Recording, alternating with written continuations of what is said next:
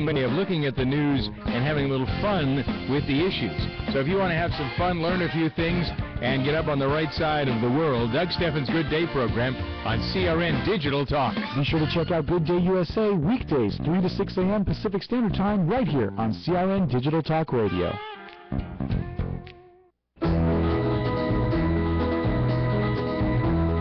Everybody's talking at me.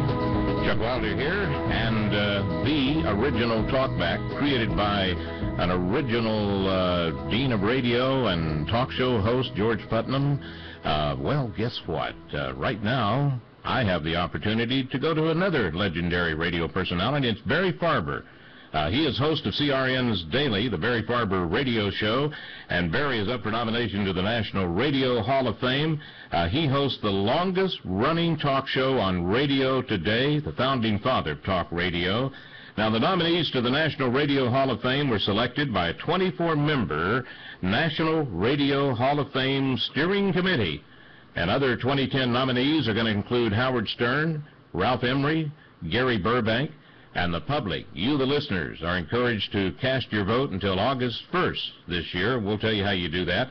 By the way, uh, Barry Show airs in over 11 million homes Monday through Friday, 5 p.m. Pacific Daylight Savings Time, right here on CRNTalk.com. Barry, how are you? Hey, look, now, anybody who's not flying after an introduction like that is done for. I am fine, thanks Oh, you.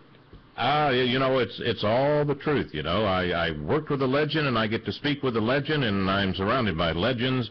And I got to tell you, uh, a little peepsqueak like me should be, you know, bowing down to you like the president. You know, I would just I'd give you You a half bow. Look how closely you work with a man we all still miss, George Putnam.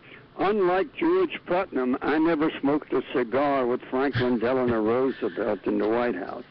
Or drank with uh, Nixon probably, or helped water or helped water the rose garden. I think he did that. Exactly, exactly. Who was it? He threw up in somebody's bathroom too. He was telling me about it. Might have been Roosevelt's bathroom when he was a Marine and uh, was now, drinking. that's a legend for you.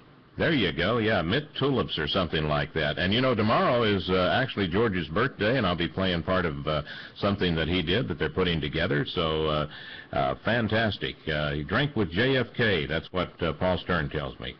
Here's my question for you, Barry, and, and we're going to get into this uh, national uh, uh, radio, uh, you know, Hall of Fame award. Boy, I tell you, just to be on the on that list, you know, even I don't know how many do they pick? Just one out of the uh, Well, four I mentioned. several there's several different categories, uh, and uh, it's like a competition. I'm up against the Mormon Tabernacle Choir and the voice of Notre Dame football. But Oh. uh, uh, the votes are still coming in, and uh, we're going to continue to wage a clean campaign.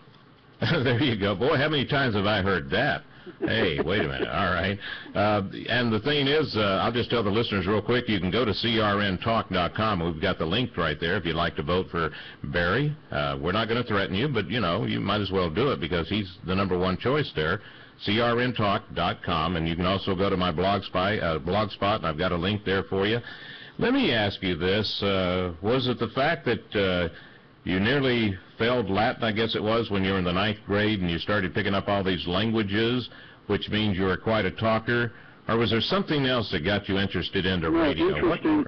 Interesting. You should go back to that. I loved the idea of foreign languages. To me, the most exciting sound in the world was the babble of strange tongues in the marketplace, and I couldn't wait to get into a language course. And the first one was in the ninth grade, and it was Latin.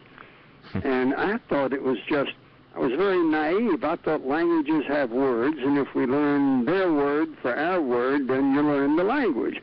I didn't know about grammar, and all of a sudden I found myself at the bottom of an ocean of noun cases, nominative, genitive, accusative, ablative, verb conjugations, and I just sank like a rock. Uh, I made a D. And uh, I was so disappointed because I, I learned, you know, usually when you're motivated, you do well. I was very You made a D? motivated.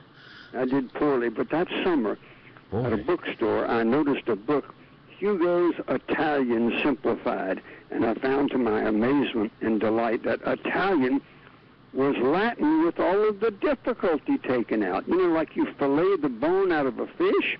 Mhm. They had filleted all the tough stuff out of Latin, and the, uh, all that was left was easy. Italian nouns didn't have cases. The verbs Mhm. changed a little, but nowhere nearly as horrifically as Latin. So that started me. hmm And then I guess Spanish, French. Oh yeah, yeah. They were a little bit easier after uh, after the Italian. Absolutely. You know, uh, you were supposed to be successful in two years of Latin in order to be allowed to take Spanish or French. I was a failure in one year of Latin, but I went to the teacher of both Spanish and French uh, the next year at high school. And I said, Miss Mitchell, I told her my story, the one I just told you. hmm I said, would you? I said, I've been studying Spanish and French also. Would you give me a test, and maybe you'll go to principal and make an exception in my case? Well, I, I wiped her out. I, I, I passed the Spanish test, passed the French test. She said, very good, Barry. Now I'm going to go to principal, Mr. Ruth. Tell me which one you'd like to take. I said, Miss Mitchell, can I take them both? And she arranged for me to take them both, Spanish and French. So I started studying languages young, and I was too lazy to quit. Now you know, uh, talking about not quitting because you also got into Russian uh, languages and Slavic languages. So let me ask you now, Anna Chapman. Did you try to get her on your show? No, no. Debrief but, you know, her a little I- bit, uh, I'm, I'm, I'm glad you bring that. I know they were Russian spies, but Uh-huh. I kept looking at their last names and seeing mostly Hispanic. Were any of them Russian? I think uh, those are undercover names. Those are like illegal aliens, you know. Ah, ah. Yeah, his real name is Hector Gonzalez, but he's going by uh, Rodriguez. You see. Uh, well, okay, but both of those are Hispanic. Now, I, I, I didn't know. No, no, the FBI makes it. you had You know, uh, interested in languages to, to get You know, uh, uh, spy on your show. And I know you've written fantastic books about the languages, and uh, I mean, you could have just had a career all by itself. You could have been a professor in, at the University of North Carolina, I guess, if you wanted to. Oh, be. what a memory you've got. Yeah, no, I got it all written down here. I, I can't remember anything. I, you know, it's. Uh, I'm trying to figure out. Uh, do I have another hour to go here? No. Okay. Uh, but interesting things here. You know that whenever you whenever you look at your career,